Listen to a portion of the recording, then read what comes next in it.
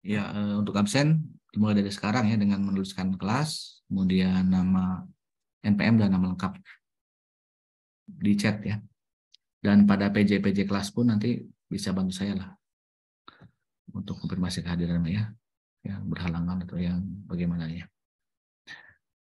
Untuk perkuliahan Pancasila di semester ini tinggal menyisakan dua minggu normal ya kalau dilihat dari jadwal normal itu hari ini dan minggu depan seperti itu.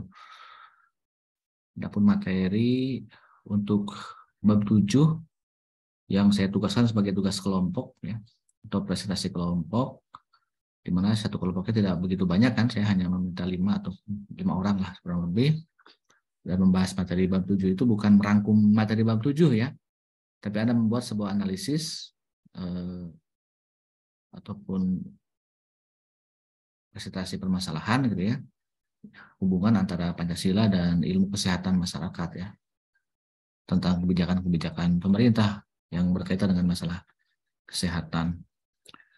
Adapun untuk teknis presentasi tidak mungkin rasanya untuk di presentasi di kelas gitu ya. Nah, saya mungkin menggunakan metode yang lain di mana teman-teman semua membuat sebuah rekaman saja ya rekaman video dengan durasi jangan terlalu panjang ya 10 menit kalau cukup ya. 10 sampai 15 menit lah maksimal 20 menit. Kalau mau di seperti angkatan sebelumnya biasanya satu angkatan bikin channel YouTube kemudian ada playlist kelas dan ada tugas-tugas di dalamnya gitu ya per kelompoknya.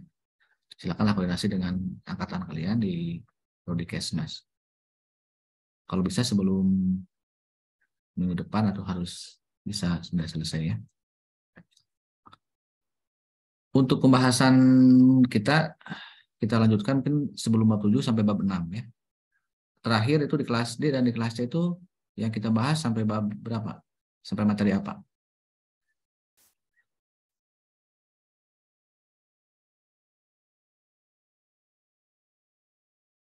Etika atau filsafat? Uh, sebentar, Pak.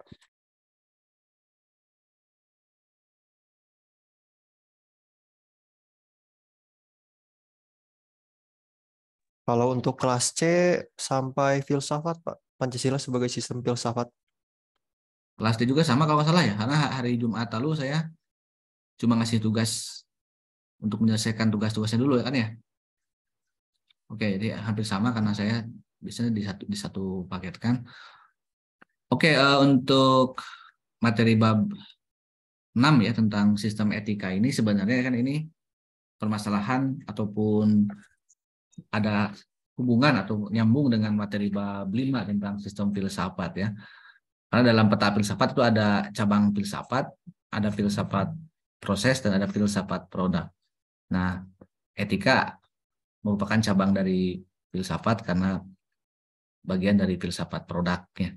Jadi kalau dalam filsafat kita berbicara masalah hakikat kebenaran ya, kebenaran dalam artian ilmu, kebenaran dalam artian eh, keyakinan ya tentang sesuatu, maka ketika seseorang memiliki pemikiran dan keyakinan ya, apalagi yang berbicara masalah kebenaran, tidak cukup hanya dengan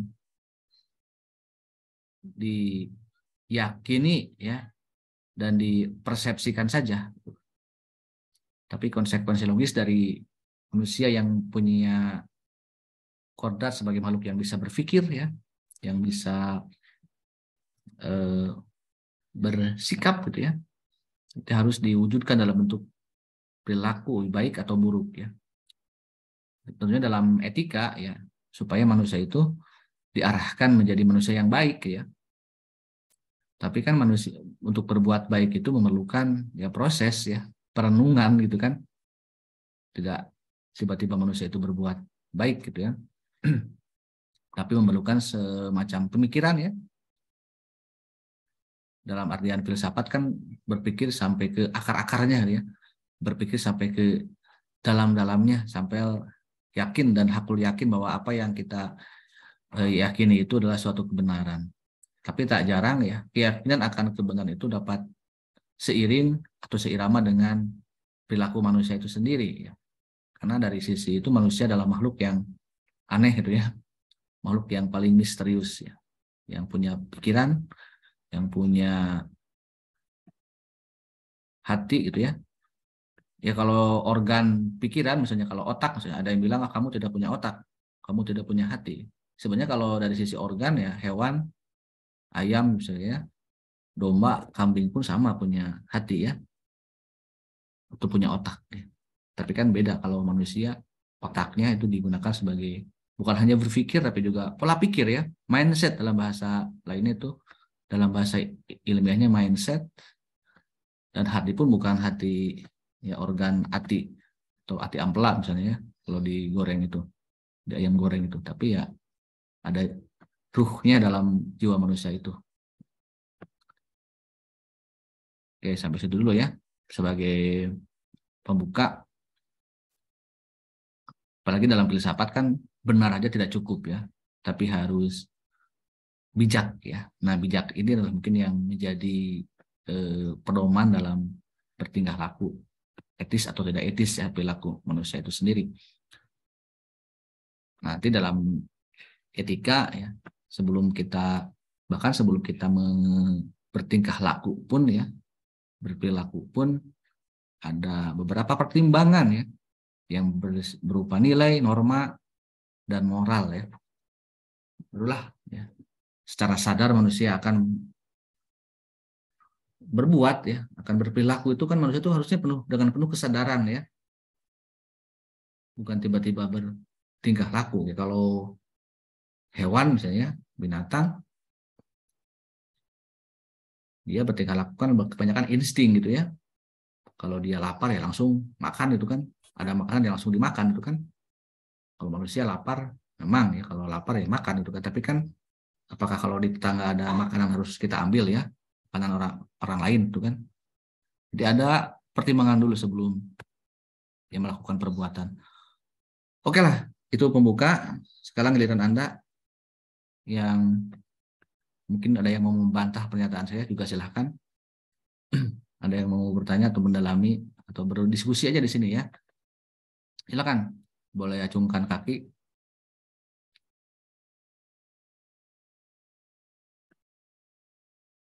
Siapa?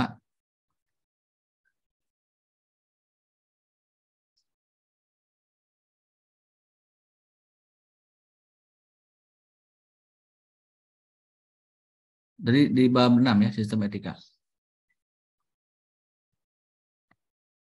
udah dikerjakan kan? Karena minggu lalu udah saya suruh untuk diselesaikan. Tinggal kita dalami di sini. Silakan. Kelas C maupun kelas D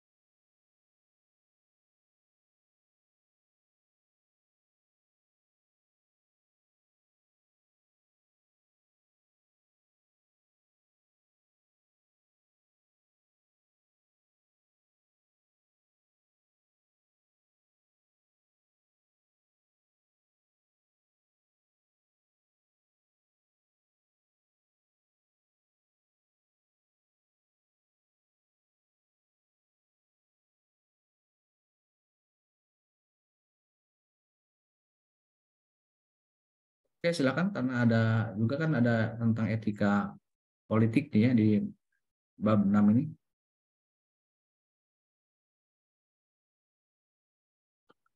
Oke, Fajar. Permainan kelas C ya. Iya Pak, baik. Terima kasih Pak sudah memberikan kesempatan buat bertanya Pak. Ini saya bertanya dari Pancasila sebagai sistem etika dulu apa boleh di etika politik Pak? Ya, silakan boleh di mana pun juga. Oke baik, saya yang di etika politik dulu aja ya Pak. Ya. Eh, pada menit awal-awal Pak, saya tuh sempat mendengarkan bahwa ketika seseorang, atau lebih tepatnya keluarga saya Pak banyak yang ngobrol, saya tidak mau terjun ke dunia politik gitu. Tapi saya cukup kaget ketika Bapak ngobrol eh, orang tersebut atau keluarga saya tetap disebut berpolitik itu kenapa Pak? Terima kasih. Mungkin itu itu saja pertanyaan saya. Ya, ada dua definisi mengenai politik ya. Secara umum politik itu adalah sikap ya. Eh, atau bahkan saya bilang kodrat manusia ya sebagai zone politikon ya atau makhluk yang berpolitik. Jadi secara umum ya, apa pun perilaku manusia adalah perilaku politis ya, punya dimensi politik manusia itu. Itu yang secara umum. Yang secara politik secara khusus ada politik praktis ya. Ya. Misalnya masuk partai politik gitu ya, menjadi anggota DPR, ya, menjadi anggota dewan, terus menjadi tim sukses, menjadi apa pun itu yang terlibat dalam politik secara kenegaraan itu politik praktis. Padahal dalam perbuat kalau politik secara khusus seperti itu. Namun secara politik, dalam politik secara umum ya, apa pun perilaku manusia ya punya dimensi politis. Nah, kalau kita kaitkan dengan etika dalam konsep nilai ya, coba apa itu nilai? Makanya harus dari ini dulu ya. Nilai itu apa sih? John Politikon itu sangat berat kaitan dengan pengertian nilai atau makna nilai ya dalam etika. Nilai, norma, dan moral. Kemudian etika. Baca aja bukunya. Sambil baca referensinya. Nilai itu apa sih? Coba nggak yang lainnya nggak bukan hanya untuk pacar ini. Nilai apa coba? Uh, adalah kemampuan yang dipercaya. Kemampuan yang dipercaya. Percaya terhadap siapa? Coba yang lain nggak apa-apa itu tidak salah ya karena banyak definisi nilai. Segala sesuatu yang ada dan ada nilainya. Segala sesuatu yang ada. Apa itu sesuatu? Apa itu ada? Karena itu harus jelas ya. Sesuatu oke okay, betul ada ada kata-kata sesuatu. Apa itu sesuatu?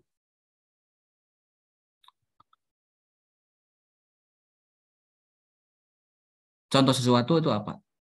Coba yang lain, Siti, selain Siti coba. Sambil buka aja bukunya. Standar ukuran, Pak. Standar ukuran. Contohnya apa yang punya standar dan ukuran itu?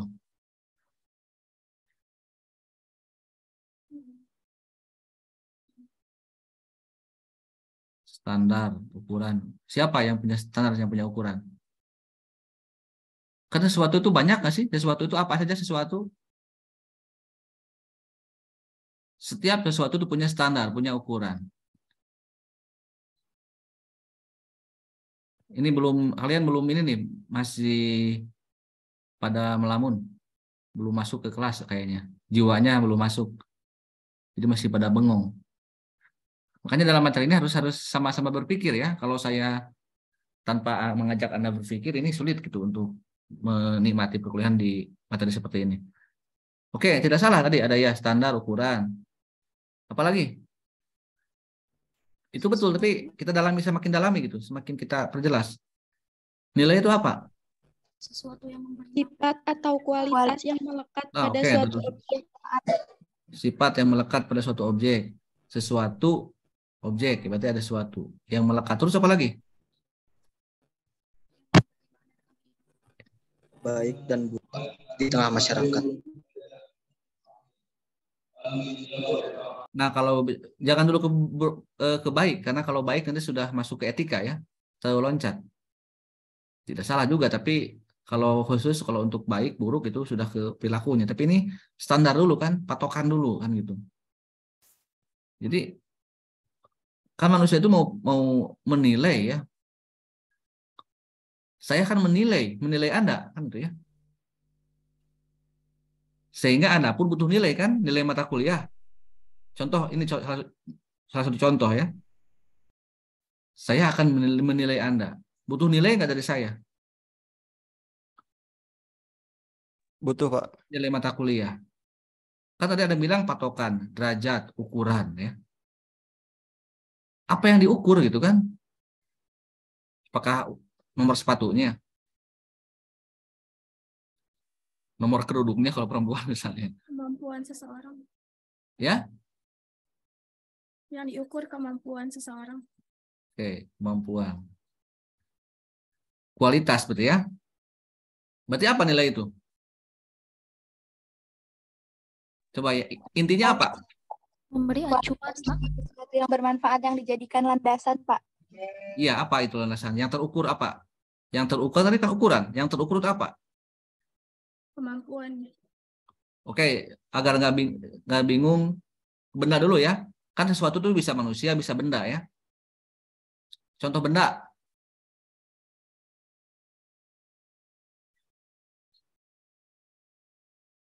Contoh benda itu apa? Masa, masa nggak tahu benda?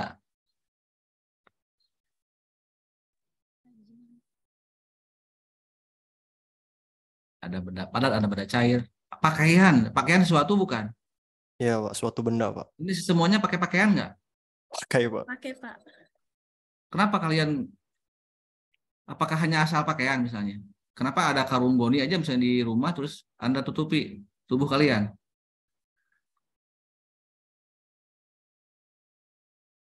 Ada yang beli pakaian misalnya ke Cikurubuk ya, borongan beli se- sekodi. Dapat lah 500 ribu juga, eh, 200 ribu juga dapat banyak kalau di Cikurubuk misalnya. Tapi kalau ke AP itu bisa mungkin dapat satu pun seset gitu ya. Dengan bawa uang 200, 200 ribu. Apa yang membedakan ukurannya? Nilai ekonominya, Pak. Harga Ya, jual. apanya? Ya, apanya yang Dari berbeda? kualitasnya, Pak. Ya, dari apa? Yang terukur apanya? Kualitas. Segi kualitas, Ya, Pak. kualitas. Tapi yang terukur apanya? Yang yang mudah diukurnya? Kan standarnya apa? Sosialnya, Pak. Iya, betul. Tapi yang diukurnya apanya? Kalau di sini masih segini, kalau di sini masih segini misalnya. Apa itu namanya? Harga. Ya, itu harga ya. Hanya dapat satu kata harga saja kan lama ya. Makanya harus berpikir dulu, harus kita perdalam dulu ya eh, maknanya. Jadi nilai adalah sesuatu yang dihargai gitu kan. Walaupun kalian punya pakaian, tapi kan beda kualitasnya sehingga beda kan harganya.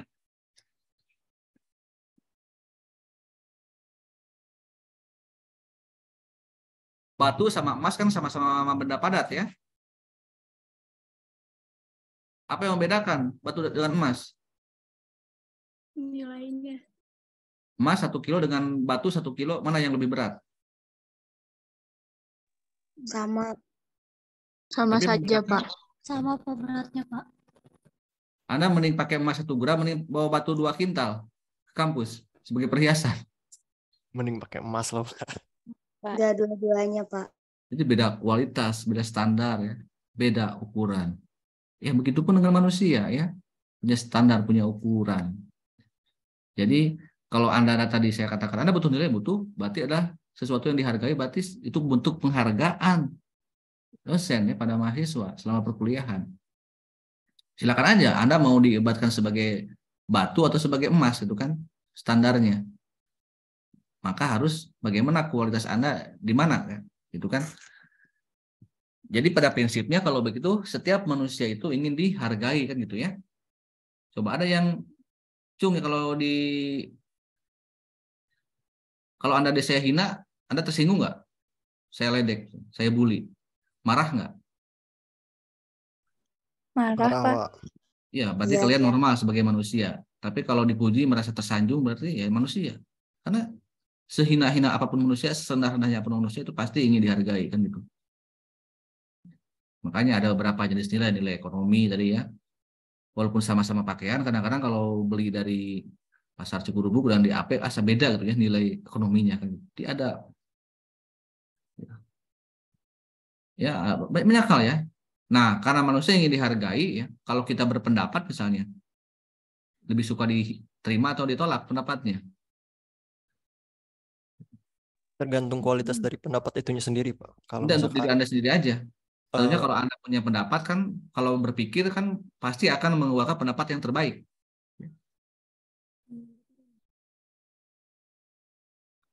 secara naluri secara jujur coba kalau anda berpendapat kira-kira ingin didengar atau ingin ditolak? Oleh itu ingin diacuhkan oleh teman anda. Didengar, Pak. Didengar, Pak. iya Didengarkan, itulah. itulah ya manusia kan itu ingin dihargai dan itu juga yang termasuk dalam kategori tadi ya pertanyaan dari Fajar dimensi politis manusia. Kita senang mempengaruhi orang lain gitu kan. Kalau kita bekerja sama kita punya ide punya gagasan lalu kita diterima oleh teman-teman kita sehingga ya manusia akan terus menerus seperti itu ya. jadi bukan hanya kalau secara umum tadi ya punya dimensi politis manusia itu tapi kalau secara spesifik ya kalau tidak terkendali ya apa yang menjadi nafsu manusia itu katakanlah secara politis yang secara praktis tadi saya bilang secara khusus yang bicara masalah kekuasaan tentunya ya manusia ya tergantung dari sifat manusia itu sendiri ya dia apakah tipe yang ambisius atau tidak gitu. Ya tipe-tipe yang ambisius adalah yang yang memiliki dimensi politik yang lebih tinggi gitu. Atau ya orang yang terlibat politik praktis ya secara eh, umum. Tapi nggak memang nggak ada larangan sebenarnya. Nggak ada larangan untuk orang eh, berpolitik misalnya. Karena yang namanya kekuasaan dalam bahasa lain kan saya sering mengatakan tahta gitu ya. Harta tahta gitu kan orang kalau sudah kaya kan itu nilai-nilai ekonominya tinggi ya. Tapi tidak cukup dengan punya punya kekayaan kan. Para pengusaha tidak cukup dengan statusnya sebagai pengusaha. Sehingga orang pada genit menjadi politisi kan banyak ya. Kalau ukuran harta mau apa lagi coba? Selevel Prabowo misalnya Sandiaga ya. Mungkin juga selevel Jokowi Surya Paloh gitu. Haritanu. Tapi karena mereka belum punya ada ada dimensi lain dari manusia itu sendiri yaitu politis tadi gitu. Sehingga ya itu punya kecenderungan ke sana. Oke jadi itu ya Fajar. Kalau Baik, bicara. Terima kasih. perbedaannya ya ya itu. Karena anak kecil pun sebenarnya ini naluri gitu ya. Kalau anak kecil minta pada ada orang tuanya sedang ada tamu di rumahnya tiba-tiba datang ke ruang tamu minta uang jajan kenapa coba anak kecil minta uang jajan di saat orang tuanya sedang menerima tamu karena kalau sedang di kamar kadang-kadang dimarahi oleh orang tuanya jajan we kan gitu jadi sudah punya naluri ya, sudah bisa berpolitik gitu kan. Anak kecil pun. Oke, silakan yang lainnya. Jadi kita baru ke tahapan nilai ya. Lalu untuk menjadi etis itu bagaimana kan? Silakan.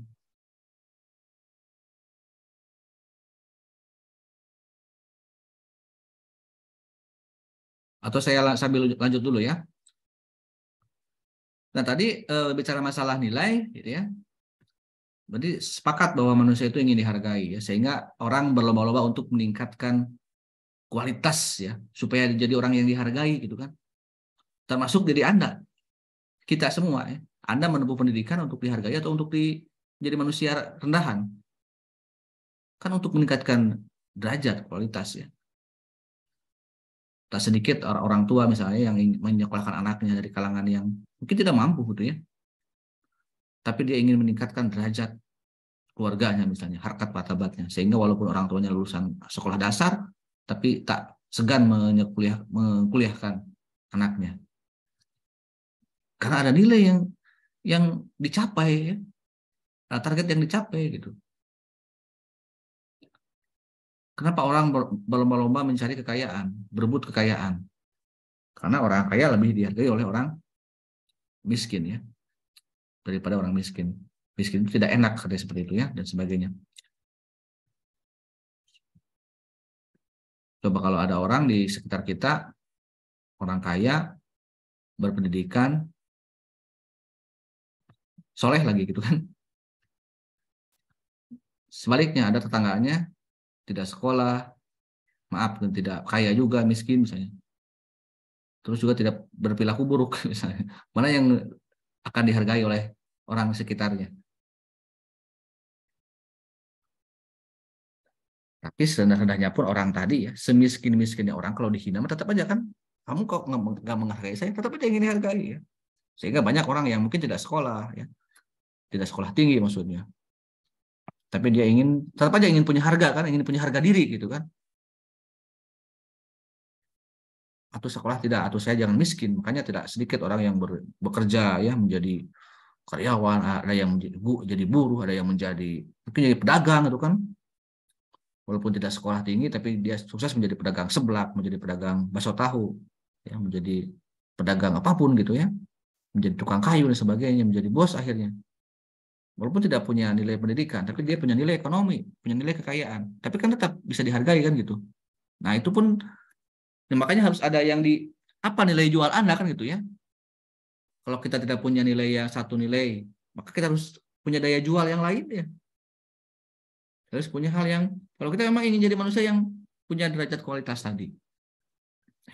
Berarti setiap manusia itu akan di akan di ya kalau yang berpikir tuh ya pasti akan senantiasa meningkatkan derajat kualitas dirinya. Tapi tak cukup sampai di situ. Gitu kan. Tadi kan ini berbicara masalah ambisi, berbicara masalah persepsi, berbicara masalah keinginan manusia itu eh, tidak cukup dengan ambisi pribadi ya, karena kita diikat oleh kehidupan sosial atau dibatasi oleh norma, karena ini masuk ke norma. Norma adalah kesepakatan dari nilai itu sendiri. Contoh misalnya, dalam nilai material kita butuh makan dan minum, tadi saya sudah contohkan. Tiba-tiba Anda sedang lapar, di rumah tidak ada makanan, tetangga banyak makanan, nyelonong ke rumah tetangga, langsung weh ambil tanpa izin. Apa yang salah coba di sana? Kalau dari sisi nilai kan butuh, lapar ya butuh kan, asupan gizi, asupan makanan. Tapi apa yang salah? Dari nor? Normal, Norma. Sopan nggak? Anda berlaku hal itu ya. Karena itu karena manusia coba kalau ayam pernah nggak berpikir seperti itu? Tidak. Pernah nggak ayam berpikir misalnya merenung, melakukan penelitian mana sebenarnya saya bingung kata ayam saya dulu atau telur dulu gitu kan? Nggak ada ayam berpikir seperti itu ya. Kalau manusia kan sampai ribut ya memikirkan mana yang lebih dulu ayam atau telur gitu. Sementara ayam sendiri yang dipikirkan dia tidak berpikir. Kalau tadi manusia butuh kekayaan ya, butuh harta, butuh uang.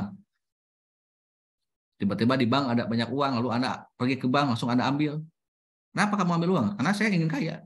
Kira-kira ada hal apa yang berlaku di sana? Ada norma hukum kan ya? Mencuri, menurut agama, norma agama bagaimana hukum merebut hak orang lain itu? dosa haram kan dan sebagainya. Jadi apa pun tadi ambisi, persepsi dan keinginan manusia itu akan dibatasi oleh norma. Maka tadi kita punya hati, punya pikiran gitu kan, sampai kita terbentuk apa yang menjadi jiwa kita menjadi punya moral kan gitu ya. Jadi moral itu terbentuk dari pikiran dan hati gitu. Lalu terbentuklah ya jiwa manusia itu sendiri bermoral. Dalam bahasa psikologi pendidikan itu ada ada kognitif ya. Namun kalau kognitif kan pola pikir ya, lebih kepikiran, tapi kalau afektif itu sudah ke moral sebenarnya ya. Jadi antara perenungan pikiran dan hati tapi sudah punya eh, semacam kuda-kuda kalau mau bersikap itu ya. Afektif itu semacam moralitas itu ya lalu termanifestasikan dalam bentuk psikomotor ataupun perbuatan ataupun ya etika tadi gitu kan. Jadi etika itu sebenarnya di di awali oleh tadi oleh proses perenungan dari jiwa kita, itu kan hati, pikiran, itu pun belum tentu bisa bisa terwujudkan, bisa termanifestasikan semuanya, gitu kan? Makanya yang namanya etika ini perilaku yang berdasarkan atas kesadaran moral ya. Sadar itu kan bisa kalau secara sederhana bisa kalau sedang tenang kan bisa kita bisa berpikir baik, punya hati yang baik juga kan, makanya harus mensucikan hati dan pikiran katanya kan seperti itu. Lalu perbuatan juga akan baik gitu kan. Kalau sedang sadar, kalau sedang tenang. Tapi kan tak semuanya seperti itu. Ada beberapa eh, kondisi mungkin yang tidak membuat manusia bisa sadar kan. Contoh mungkin yang paling mudah ketika saya orang biasanya kalau di apa di dalam bahasa Sunda di dobas ya ditanya lagi misalnya gitu kaget itu kan bebek bisa ada yang manggil apa gitu ya kalau refleks itu isi manusia. Tiba-tiba manggil apa gitu kan? Karena refleks manusia itu. Nah karena juga mungkin dia punya pikiran tapi tidak sempat bertanya pada hati gitu. Sehingga ya logika aja. Kamu itu sebenarnya orang tuh punya hati sih atau tidak punya otak atau tidak kan gitu. Saya ingat ketika adegan film apa ya waktu saya SMA itu ada apa dengan cinta ya. Ada pertarungan antara Rangga dan Cinta. Kan bertengkar itu ya. Rangga ngomong ke si gara-gara apa ya menyebut ketidak punya kepribadian katanya marah katanya. Ya intinya si Cinta mutusin si Rangga ya. Rangga bilang begini hai Cinta. Salah satu di antara kita katanya punya hati dan punya otak katanya tapi sayang, kamu tidak punya kedua-duanya. Ya ketika Anda memutuskan ya kepada seseorang ya bilang putus memutuskan hubungan berarti kan Anda tidak menggunakan hati maupun menggunakan pikiran atau mungkin ada emosi atau apalah istilahnya ya tuh. Jadi tak, tak sedikit kan kita berperilaku itu mungkin tahu gitu ya, dan mungkin yakin. Saya sering mengatakan apakah seseorang seorang koruptor dia ngaku nggak sih gitu hatinya? Kalau itu perbuatan yang mungkin tidak baik gitu ya salah gitu kan. Seorang penjahat seorang pencuri gitu kan. Mungkin juga tahu bahwa dalam pikirannya bahwa ada undang-undang ada hukum yang melarangnya gitu.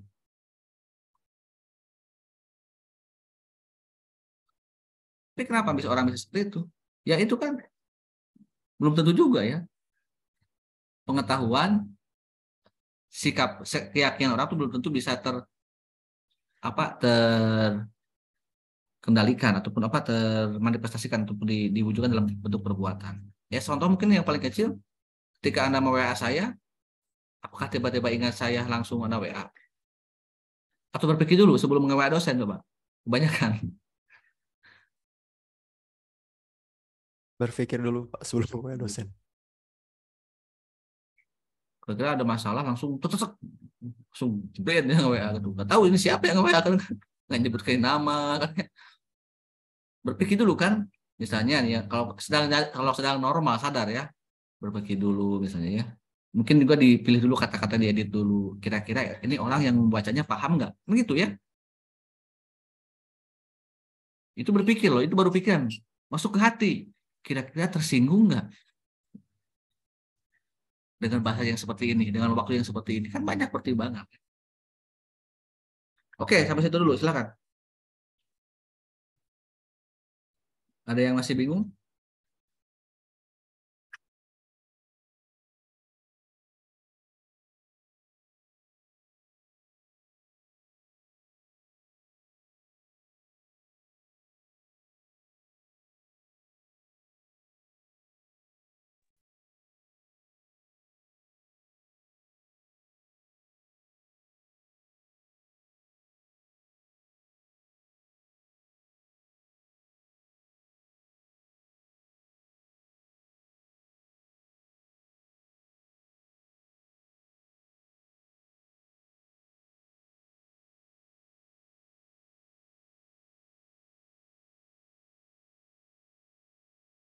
Kemudian setelah kita tahu bahwa perbuatan itu baik atau tidak gitu kan maka salah satu hal penting dalam diri manusia itu akan muncul yang disebut dengan karakter ya. Dalam hal ini kita harus meyakini bahwa manusia itu makhluk yang bisa dididik gitu ya. Makhluk yang bisa dibina. Kalau tak bisa dibina maka akan dibinasakan manusia itu.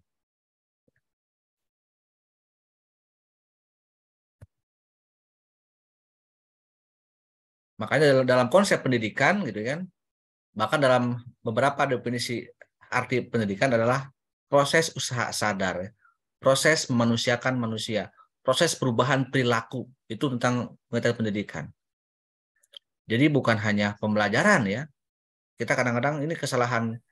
Saya sering mengatakan juga gitu kan. Kenapa banyak orang pintar, hebat, cerdas secara teori itu ya. Punya nilai bagus dalam secara ilmu, tetapi kenapa secara perilaku tidak seimbang. Ya karena ada yang tidak seimbang ya sistem pendidikan kita yang lebih mengarahkan pada sistem kognitif ya daripada afektifnya gitu ya. Nah, itu harus seimbang padahal ya. Makanya dalam perilaku etik ini ya karena ini berbicara masalah kesadaran ya berbicara masalah ya tergantung dari kita tergantung dari manusianya dia akan senantiasa sadar atau, atau tidak kan ada juga bilang ya mentalitas juga kan ya yang tadi saya bilang salah satu pertimbangan salah, salah satu yang mungkin yang mendorong manusia untuk berbuat adalah ada dia punya mental yang baik atau tidak itu kan sangat sangat berkaitan juga adapun karakter tadi ya kan yang namanya orang tidak memang tidak tidak selamanya baik gitu ya. Tidak selamanya buruk juga ya.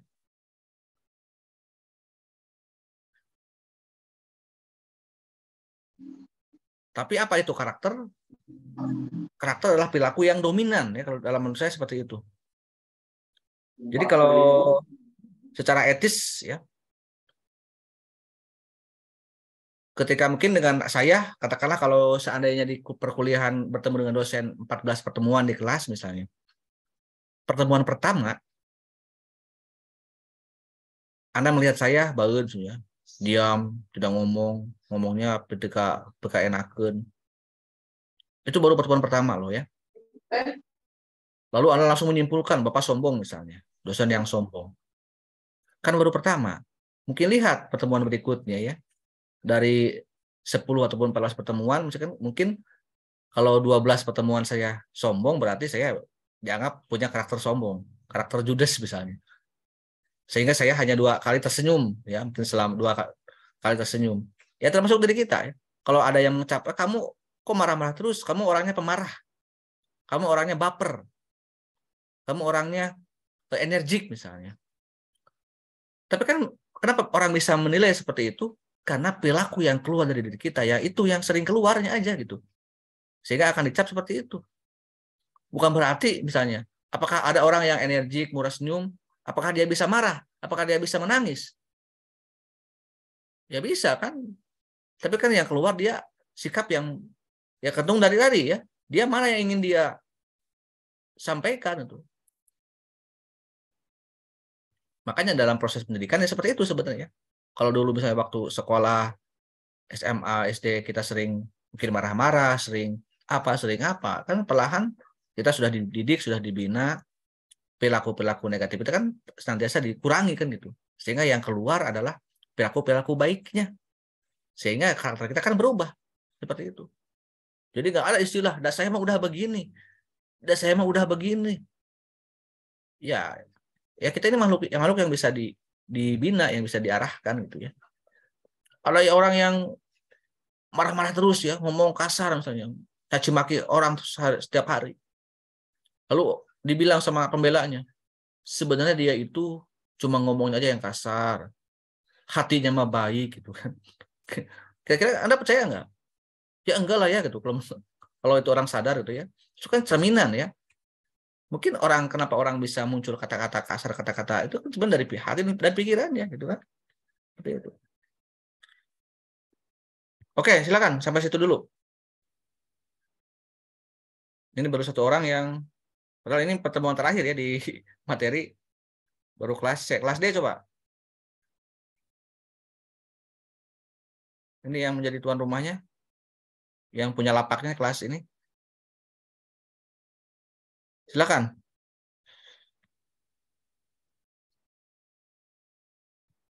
Ini baru 60. Kelas sebenarnya ini udah berapa ya? Dua kelas ini? Udah 30 lebih. Hampir 40 kalau nggak salah ya. Per kelasnya ini. Per kelas kurang lebih 36 orang, Pak.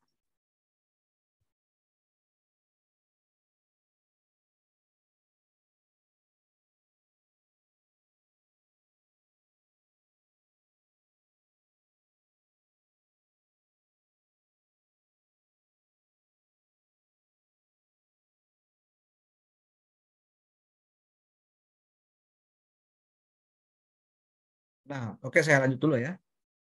Tadi ya, jadi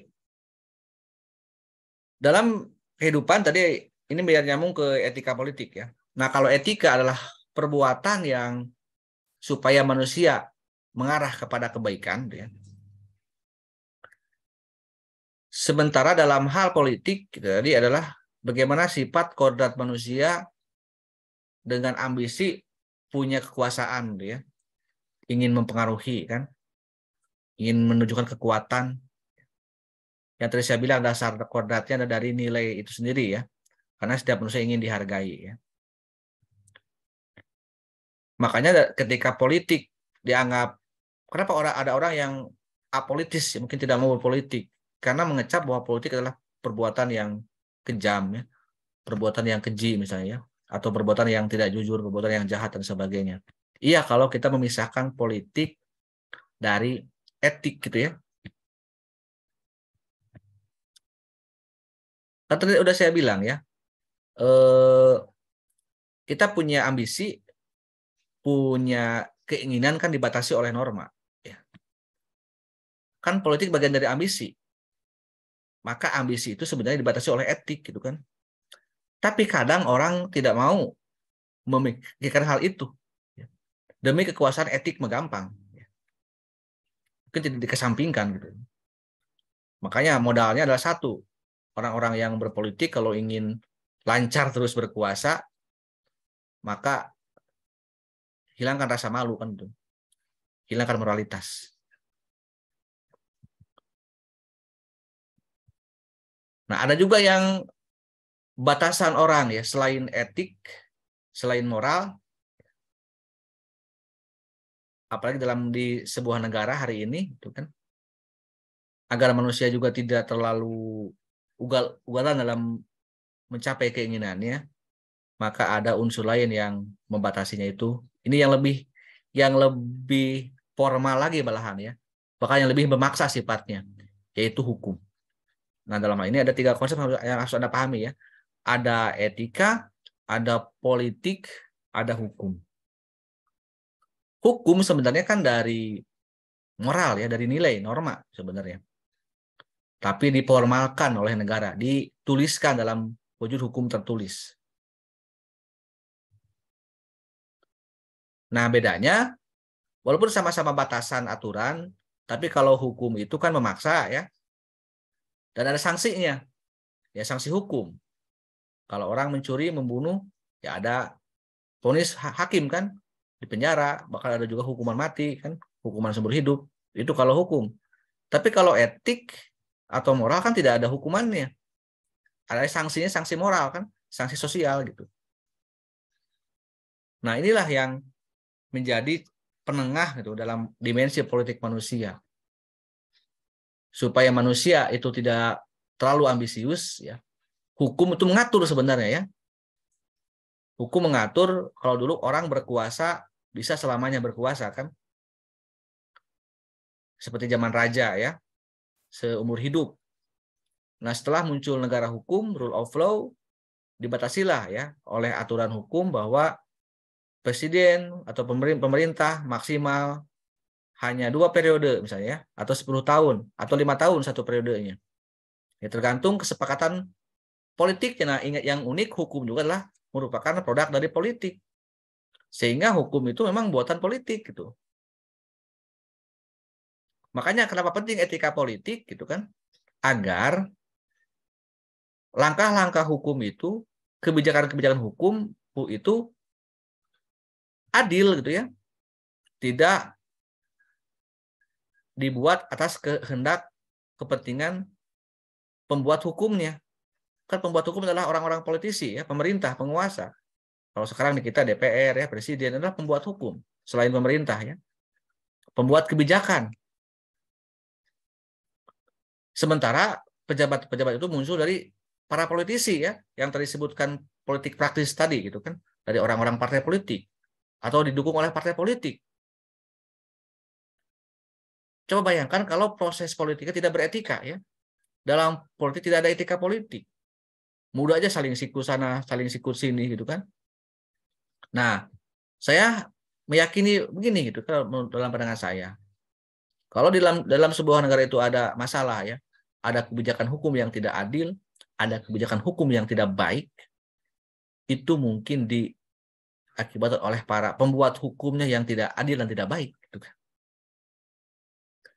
Kenapa bisa muncul para penegak hukum, para pembuat hukum tidak baik, tidak adil? Karena lahir dari proses politik yang tidak baik dan tidak adil, atau yang tidak beretik tadi, proses politik. Wajar kalau kita hari ini banyak koruptor ya, para pejabatnya. Toh dia masuk ke dunia politiknya pun lewat korupsi kan gitu ya. Dengan menyogok, dengan ngasih sembako, dengan ngasih uh, uang, serangan pajar, money politik. Sehingga wajar kalau melahirkan pemimpin yang korup gitu kan. Karena mereka itu modalnya modal korupsi gitu. Sebelum menjadi pejabatnya. Itulah pentingnya ya etika politik agar memang lebih baik Kenapa saya ini ini kita harus melek politik, kita harus penting, sangat penting politik karena politiklah yang menentukan semua kebijakan ya dalam sebuah negara itu. Bukan hanya masalah hukum atau hukum ya. Termasuk juga kebijakan kesehatan juga kan hukum akhirnya kan dalam negara hukum ya, aturannya. Siapa yang membuatnya? Ya mereka yang hidup dalam dunia politik gitu kan. Bayangkan kalau orang-orang baik tidak ada dalam politik ya, ya mungkin tidak akan ada kebijakan yang baik. Ya mungkin masih mending masih ada walaupun banyak sekali misalnya di dalam dunia kesehatan pun misalnya menteri kesehatannya pun bukan orang bukan orang kesehatan ya. Karena menteri adalah jabatan politik. Termasuk saya pun dalam orang orang pendidikan, menteri pendidikan saya pun bukan ahli pendidikan ya. Si Panadi Makarim itu kan, Mas Menteri itu. Ya, karena mereka adalah jabatannya jabatan politik gitu kan. Bukan jabatan profesional. Makanya harus atau minimal ya orang-orang baik itu yang masuk ya. ya dalam sistem seperti ini kan kita ya harus dibuka jangan sampai kita ini fokus aja ya hanya di masalah fokus aja di bidang kesehatan di bidang tidak mau melek politik ya nanti kalau mau jelang pemilu 2024 Anda ah rumah angkewae sama aja, sama aja siapa pun yang menjadi penguasa ya kalau bisa Anda jadilah semacam influencer yang baik gitu ya yang memberikan opini yang baik supaya kita lebih baik lagi gitu kan. Dan untuk menilai baik buruk itu keadaan sebuah bangsa itu adalah dengan kejujuran ya. Kita ini harus harus bisa jujur ya melihat keadaan baik atau tidak. Sekarang kan saya lihat agak sedikit bingung ya kondisi kita. Ada orang yang membabi buta membela ya. Baik-baik saja misalnya. Ya. Ketika dia mengkritik langsung dihabisi, langsung dikriminal, bahkan dikriminalisasi. Sehingga ada juga yang memang toh-tohan terus terus terus menyalahkan ya. Tapi kalau semuanya punya persepsi yang sama, mungkin karena nggak ada kejujuran ya. Bayangkan ya, masyarakat semuanya jujur melihat keadaan misalnya. Mungkin itu pula yang menjadi bekal dan modal negara-negara maju ya. Mereka punya nilai kejujuran ya. Nilai etis yang baik. Ketika negaranya dalam keadaan tidak baik, maka mereka punya persepsi yang baik. Punya yang sama, oh berarti sedang tidak baik nih. Apa yang salahnya di mana nih? kalau di pemimpinnya yang salah kita pilih pemimpin yang benar gitu kan yang lebih baik ya kita kita perbaiki bersama-sama ya jadi walaupun ada pertarungan tapi ada pertarungan yang logis gitu ya karena tahu keadaan yang sebenarnya ya, ya kalau di kita kan nggak jelas itu ya kadang-kadang ya mau benar mau salah kalau sudah cinta pada satu pihak ya udah pertahankan misalnya pilih lagi Bahkan ada yang minta tambahan jabatan kekuasaannya. Itu yang agak sulit ya hari ini kalau menurut saya gitu ya. Kita sedang tidak ada kejujuran sehingga mau mau mau mau dari mana memperbaikinya kita ini bingung gitu kan karena ada yang nggak ada yang pernah ada nggak ada yang pernah mengakui ya. Termasuk penguasa coba ada yang pernah mengakui nggak pemimpin yang mengakui kesalahannya mungkin ini kelemahan negara kita ya. Saya dari mulai Soekarno pun pada saat ada masalah menjelang akhir kekuasaan ini dia pernah tidak pernah mengakui kesalahannya kok ya. Itu selevel Soekarno gitu ya. Mungkin yang resmi mundur mengundurkan diri cuma Pak Harto itu ya untuk di 98 ya. Yang lainnya kan mungkin dengan paksaan ya, dipaksa untuk mundur. Kalau Pak Harto kan dia mengundurkan diri gitu kan. Karena mungkin saya lah sumber masalahnya kan gitu. Di Jepang coba lihat ya, di Inggris coba ya, hanya beberapa bulan Perdana Menteri itu mengundurkan diri loh ya. Karena melihat keadaan ekonomi yang mungkin tidak stabil, dan dia mungkin tidak mampu untuk membuat negara ini lebih baik, dia jujur melihat keadaan, jujur atas kemampuan. Coba di Inggris dalam beberapa tahun tuh hanya ada tiga perdana menteri ya, karena merasa mengukur diri gitu kan. Jepang juga yang meninggal ya, yang kemarin meninggal ditembak itu. AB juga sama ya dalam keadaan pasca pandemi merasa gagal mundur gitu kan.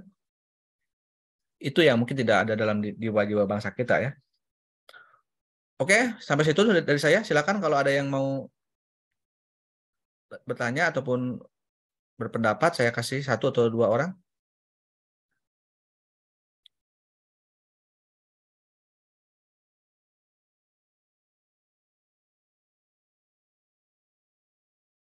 Atau sudah oke, ada Sri Mulyasari ini kelas apa? Kelas C, Pak. Silakan, Cek Sri. Baik Pak, masih uh, tentang etika berpolitik. Uh, izin bertanya Pak, melihat implementasi etika berpolitik sekarang ini seperti fenomena mahar politik, money politik, kemudian saling menjatuhkan, saling fitnah, saling melempar kabar-kabar hoax, dan lain sebagainya. Apakah masih ada etika dalam perpolitikan Indonesia saat ini? Anda bertanya ke saya, apakah tidak menurut saya hari ini? Justru nggak ada. Karena di kita itu hari ini terlalu pada normatif hukum ya. Berpatokan tidak salah sebenarnya secara hukum ya. Karena negara ini adalah negara hukum. Bukan negara etika ya. Bukan negara moral. Dan tadi yang saya bilang pentingnya politik dalam etik itu adalah agar ada kebijakan hukum yang tidak sesuai yang tidak menyimpang dari akal sehat dari norma dan norma dan moral. Karena kalau hukum saja itu kan bisa dirubah masalahnya ya. Tergantung ya, tapi belum tentu hukum yang dibuat itu adalah sesuai dengan penuh etika. Kenapa orang bisa saling menghujat, bisa saling mencaci, saling memaki? Karena nggak ada aturannya. Ada nggak misalnya aturannya? Kalau kita sudah berteman, maka harus berteman selamanya. Kalau kita berpisah pertemanan, maka kita akan dipenjara misalnya. Enggak kan? Ketika ada orang yang yang berjasa pada kita, apakah ada aturan tertulisnya enggak bahwa kita harus balas jasa? Jangan sama teman, sama orang tua juga kan enggak ada aturannya kan?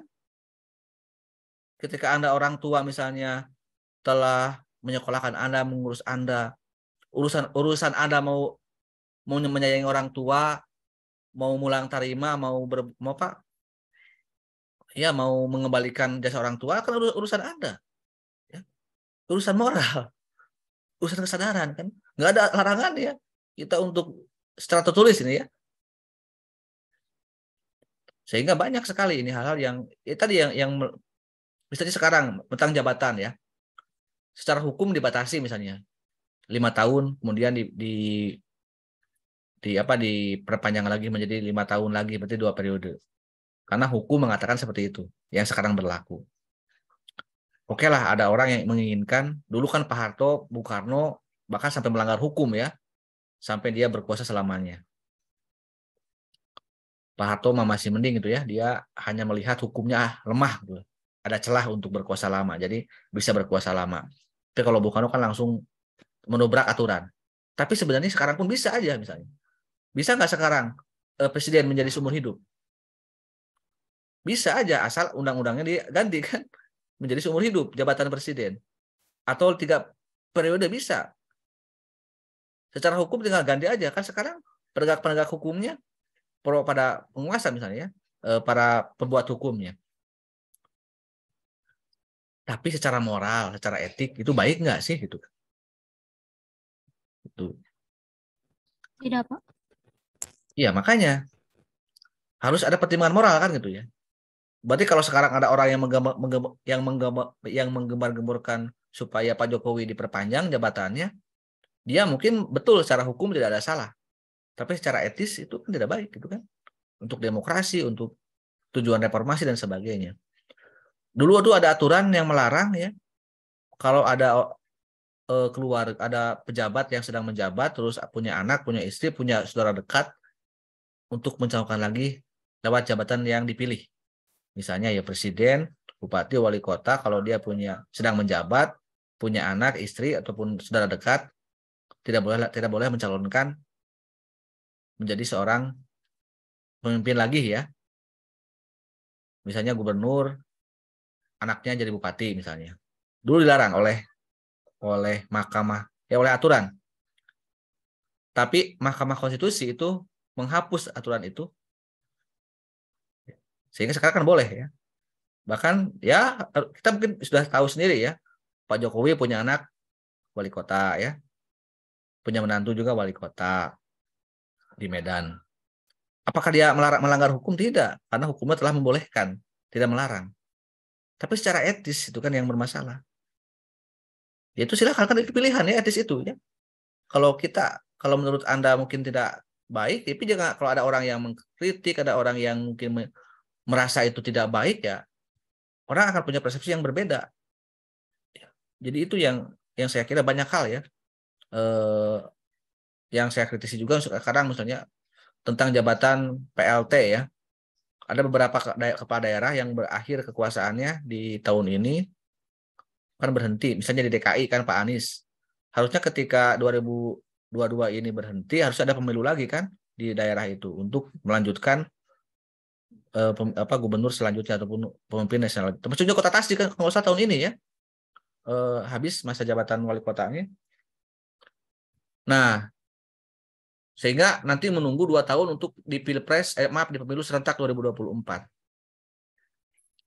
Sekarang apakah eh, boleh eh, sekarang bagaimana yang sekarang kosong maka pemerintah pusat berhak menunjuk kepala daerah yang menjabat ya PLT namanya atau P, atau PJS ya. Memang aturannya seperti itu. Tidak salah tidak melanggar aturan sebenarnya ya. Presiden punya kewenangan menunjuk menteri eh maaf menunjuk gubernur menunjuk wali kota lewat menteri-menterinya. Padahal seharusnya menteri dan apa bupati wali kota itu ataupun gubernur itu dipilih oleh rakyat, bukan dipilih oleh presiden itu kan secara moral etisnya. Tapi karena aturannya berkata demikian, maka ya tidak ada yang salah dengan aturan itu. Tapi itulah yang contoh etik ya. Kadang-kadang ya hal itu yang demi kekuasaan kadang-kadang orang membuat sebuah kebijakan aturan yang secara etis itu mengganggu ya eh, akal sehat manusia atau rakyat. Oke itu Barangkali tadi siapa yang bertanya tuh? Mulia Sari ya? Saya Pak. Iya, Pak. Sri Mulia Sari. Oke, masih ada? Mungkin satu orang lagi? Rini Komalasari kelas? Kelas D, Pak. Kelas D, ini ada wakil kelas D. Silakan Rini tentang? Baik, Pak. Terima kasih tentang etika dalam politik. Masih etika dalam politik, Pak. Ya. Izin bertanya, Pak. Apakah etika politik itu bagian dalam demokrasi Pancasila? serta bagaimana jika prinsip etika tidak diterapkan secara maksimal dalam lingkungan politik dan apa dampaknya bagi bangsa dan negara. Terima kasih, Pak. Ya, kalau saya lupa lagi nanti saya ingatkan ya eh, pertanyaannya karena eh, panjang. Yang pertama begini, Pancasila itu kan banyak fungsi dan kedudukannya ya sebagai dasar negara atau sumber dari segala sumber hukum. Jadi semua hukum itu bersumber dari Pancasila. sebagai filsafat, sebagai ideologi, sebagai falsafah, sebagai etik ini kan, sebagai sistem etika ini. Berarti memang sumber kita dalam berperilaku itu adalah Pancasila. Ya. Jadi Pancasila itu kan ada selain ada dua fungsi ya saya sebutkan ya. Kalau lima sila itu adalah nilai, norma dan moral ya. Sebagai pedoman untuk moralitas. Tapi kan tidak semua nilai nilai norma itu jadi hukum kan gitu ya. Ada yang masuk ke hukum, ada yang masuk tidak. Tapi kalau diperlukan, maka boleh aja si pembuat hukum membuat moral yang jadi hukum misalnya. Ini contoh yang yang masih baru. Apakah dulu ada sanksi nggak eh, si penghina itu mendapatkan hukuman? Itu kan menghina itu bagian dari perilaku sop, norma sopan santun ya. Tapi dengan adanya undang-undang ITE misalnya, orang menghina di medsos itu dapat dikenai sanksi pidana. Padahal itu adalah perbuatan moral ya, perbuatan norma melanggar etik saja. Tapi karena si pembuat hukum merasa bahwa itu perlu untuk menjadi kejahat sebuah kejahatan pidana, maka itu masuk ke dalam eh, hukum tertulis, itu kan. Bahkan juga orang yang banyak bertanya, Pak, bagaimana kita kan sila sila pertama kan ketuhanan. Bagaimana kalau ya tidak bertuhan? Secara hukum kan tidak ada hukuman bagi orang ateis gitu kan. Tapi secara norma dan moral itu melanggar karena kita punya nilai Pancasila. Sekarang mungkin Anda menyimak berita di Piala Dunia 2022 di Qatar ya. Apa yang di, di, luar isu sepak bola? Di luar isu sepak bola apa? Yang yang rame, yang menjadi kontroversi di dunia di Qatar? penolakan LGBT, Pak. Ya. Siap negara mana yang banyak mendukung LGBT? Negara Inggris, Denmark, terus Iya, itu negara-negara Eropa ya. Negara-negara barat. Kenapa di barat itu menerima apa memper, menganggap bahwa LGBT adalah bagian dari perjuangan melawan HAM atau menegakkan HAM? Karena sumber filosofi mereka humanisme ya, kemanusiaan. Jadi LGBT bagian dari perjuangan sifat manusia. Ya manusia betul secara secara humanisme itu memang manusia punya perilaku ada manusia yang punya perilaku seperti itu. Karena mereka sumbernya adalah hanya humanisme, materialisme.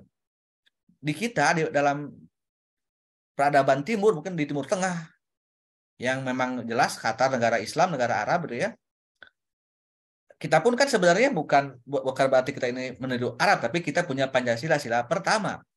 Walaupun kita punya sila kedua misalnya, sebagai kan norma kita sila kedua juga bagian dari norma, tapi ada sila pertamanya. Nah, makanya humanisme di kita dibatasi oleh humanisme eh, oleh ketuhanan. Jadi manusia insan Tuhan, manusia ciptaan Tuhan. Kalau di dunia barat, hamnya kan hamburger gitu ya. Jadi manusia hanya dari sisi kemanusiaannya saja. Berbuat baik pun bagi mereka adalah hanya karena sisi kemanusiaannya saja. Tidak ada misalnya karena ajaran agama, karena akan mendapatkan pahala dan sebagainya. Itu ya. Terus tadi apa yang kedua coba saya lupa lagi. Rini. Eh, bagaimana jika Jika- prinsip etika tidak diterapkan secara maksimal pada dalam lingkungan politik dan apa dampaknya bagi bangsa dan negara? Ya, biasanya begini. Pertama ya, beberapa nilai etis itu akan dijadikan norma hukum gitu ya. Kalau diperlukan. Ya. Agar ada ketegasan gitu kan. Yang kedua, jika si pemimpin misalnya, ini kan berbicara politik, bicara pemimpin. Si politik itu misalkan ingkar janji. Tidak membuat sebuah pekerjaan yang sesuai dengan janji-janjinya. Maka orangnya kan akan menilai kan Sama dengan Anda misalnya, ketika saya ngajar kan akan menilai dosen kok seperti ini nggak ngajarnya. Mungkin seperti itu. Saya juga sama kan kepada Anda. Saya juga akan menilai bagaimana Anda selama perkuliahan. Sama ketika kita pun melihat pejabat, menilai kan. Dulu kan si ini, katakanlah kita menyukai orang ya. Lalu terpilihlah orang tersebut menjadi, menjadi penguasa dalam demokrasi gitu kan ya. Kita suka, kita pilih, lalu terpilihlah. Kita pantau pekerjaannya. Kalau sukses, kalau berhasil, berarti nanti konsekuensinya, sanksi moralnya apa? Konsekuensi moralnya akan kita pilih lagi. Selain karena suka, kalau sudah kita tahu kerjanya kan kita akan akan puas juga dengan hasilnya kan gitu. Suka sama orangnya, bagus juga pekerjaannya misalnya. Maka kita pilih lagi. Itu kan moral itu ya, etik gitu kan. Makanya kalau etik tidak tidak ada, maka orang kan akan mengkritik kan gitu ya. Perbuatannya kan gitu. Kenapa kamu dulu kan waktu kampanye ngomong ini, kok sudah jadi kok ngomong gitu? Itu yang berlaku ya kalau moral ya. Apalagi kalau sudah melanggar di batas moral, tiba-tiba dia korupsi kan itu yang bermain bukan hanya moral tapi sudah hukum ya. Apakah dia menjadi terpidana korupsi seperti misalnya Sambo dia membunuh kan akhirnya menjadi terdakwa pembunuhan dan sebagainya. Jadi itu kalau moral berupa kritikan ya kalau kita sabar maka kita kalau kita puas kita pilih lagi kalau tidak ya kita pilih yang lain yang mungkin akan membuat lebih baik lagi. Itu bisa dipahami ya hari ini jawabannya? Ya bisa Pak. Oke tadi saya, satu orang lagi tuh ya, udah ngacung nih M Deprian coba. Ini terakhir ya. Depri boleh dibuka mikrofonnya?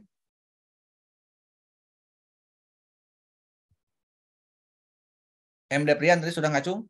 Halo?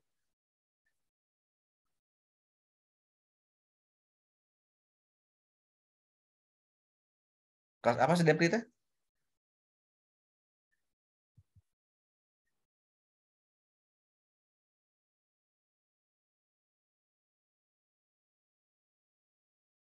Jadi enggak Deprian?